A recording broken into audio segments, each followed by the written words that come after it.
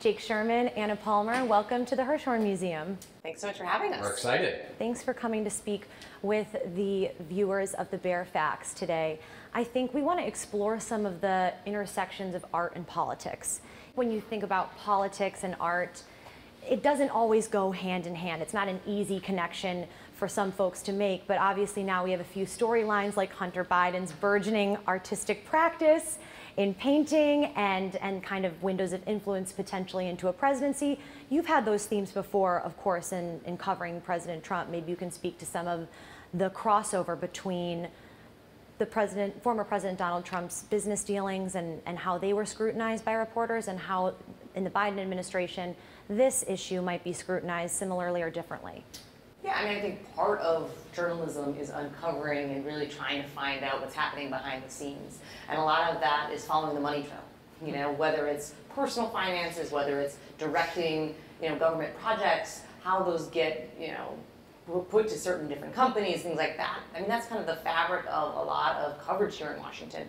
Certainly when the president's son decided to become an artist and sell his work, you've already seen kind of the different leaps and bounds and, and kind of their own kind of framework with which they've tried to decide what is the right way to approach mm-hmm. that and we'll see if the, they're successful in doing it certainly there's been a lot of people that have been very critical of it that he's trying to profit potentially off of his father's presidency yeah i think it's up to people who are uh, far more versed than us to decide if if hunter biden's paintings live up to its um, its cost of a half a million dollars and why people are buying those paintings i think there's been a lot of really excellent work done about the ethics arrangements that the mm-hmm. White House has um, has uh, um, put up in place to to facilitate the sale of this art. I think it's it's it's incredibly unusual.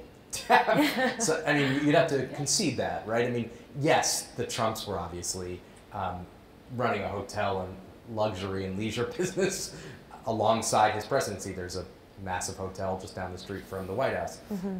I just think this is incredibly unusual. We're in new territory, but we do have an art expert with us. Josh, what do you think about a novice artist like Hunter Biden commanding prices of half a million dollars for large scale works or the $75,000 for works on paper that he's charging. Kelly, can we short those artworks? That's my professional art market view. They're worth maybe five to ten thousand dollars for a, a normal artist just starting and who's ever buying them is not keeping it secret.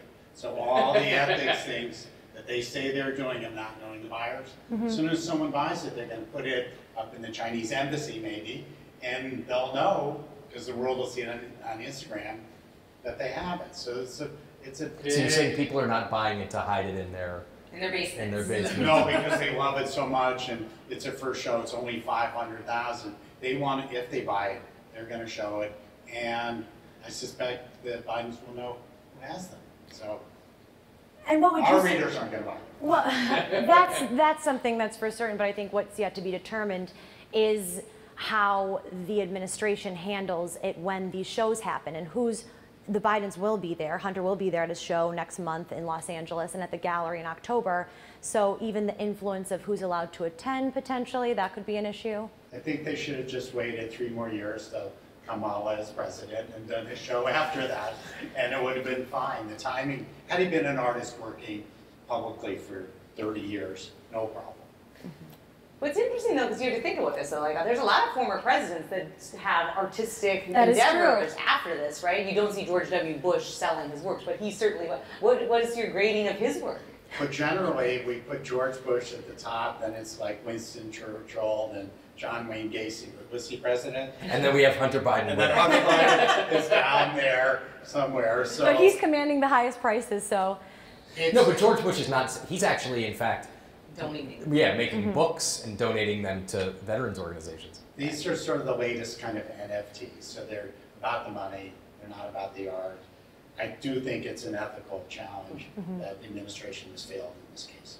Yeah, I do think, I mean, I personally, I think it would, it would be a. I agree with you 100, percent but I have tough a tough time translating that into reality. I don't think that Joe Biden. I don't think. I mean, maybe if some foreign national bought it, and I, I mean, there are a lot of ethical pitfalls that, that I just I don't know exactly what shape it would take. But like Anna said, it's an unprecedented situation, so it's going to be Yeah. Revealed, I'm sure, as the shows begin at the galleries.